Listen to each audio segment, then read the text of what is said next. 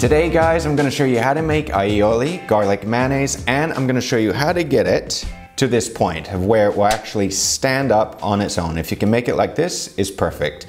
A little later on, I will also discuss or I'll show you how, if you happen to actually break the sauce, how to fix it, because not a lot of people actually show you this. It's actually quite easy. And well, I'll tell you a few other little interesting things along the way. So let's get started with this delicious recipe. So to make the aioli is very easy. We're actually making a mayonnaise. This is an emulsification. So anytime that you have either water molecules suspended in oil or oil molecules suspended in water, it's an emulsification. And mayonnaise is one, paint's another, butter is another. And aioli obviously is a mayonnaise, is a garlic mayonnaise. So this is what we're making. Now, this is literally all the ingredients that we're gonna need today. We're gonna need a couple egg yolks, a clove of garlic or two, depending on the amount that you want to make and how strong you actually want it. A little bit of lemon, we're not going to use this whole lemon, as, as a gigantic lemon, and about 200 milliliters of olive oil. You don't have to use olive oil, you can substitute it with sunflower oil, soybean oil, rapeseed oil, any other oil or any other oil that doesn't have flavor to it, but olive oil is a lot better for you. And well, in the end, if you're going to be eating a lot of it, might as well make it with something that's healthy. Now, I have already made an aioli video, but that one was in Spanish. So if you do want to see the only video that I actually speak Spanish on my YouTube channel, then I will leave the link down below for you guys to check that video out as well as well. It's a little different seeing me speak Spanish than explaining it in English. We're going to take a clove of garlic. I'm going to cut off the end, peel it, and I'm going to cut it from top to bottom. There's a saying in general, but in Spain they typically do this.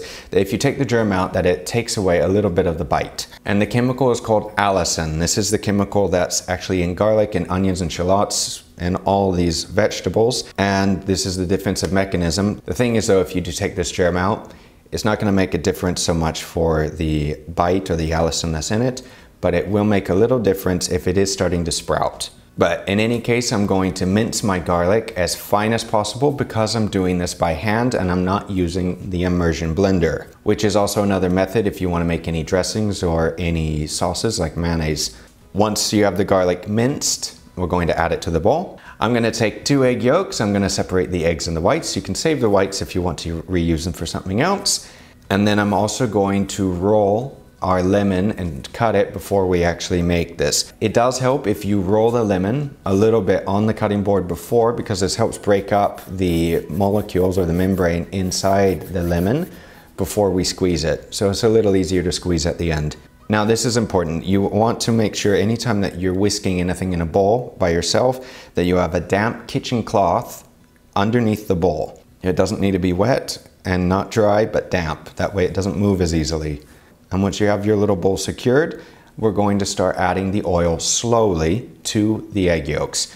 Once you start seeing that the egg yolks are starting to emulsify, once the oil molecules are being absorbed into the egg yolk, you can then start adding the oil a little faster and a little faster and a little faster. And once you do see an emulsification, this is the point that you can add the lemon juice to the aioli and you can season it with a little bit of salt. And if you can get it to the point of where you can actually make it stand up like this, this is considered a perfect aioli, very stiff. Also guys, one quick tip, anytime that you're using raw egg yolk or raw egg, anytime that you're making any mayonnaise, any dressings, uh, Cobb, Caesar, any vinaigrettes, anything like this, any emulsification, it's best to keep this for a maximum of three days in the fridge and then after that, throw it out just to be safe. Now, let's say that you happen to use an immersion blender or you're making this in a Thermomix or an actual blender. Whenever you make this not by hand and you make this in a machine, there is a potential of the sauce splitting on you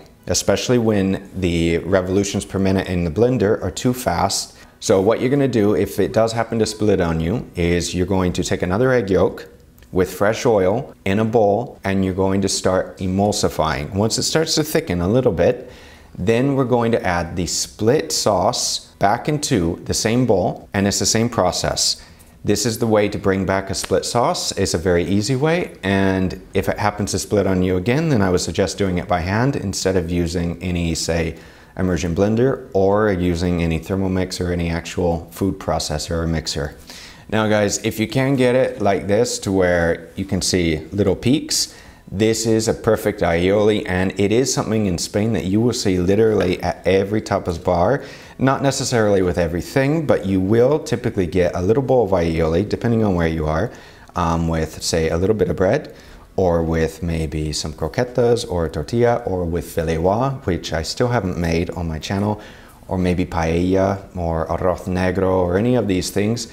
Typically aioli goes with them, but then again, it depends on everybody's personal preference. Now, if you want something to go with this delicious aioli that we just made today, then I would recommend clicking on this video down here to see exactly how we eat patatas bravas in Spain.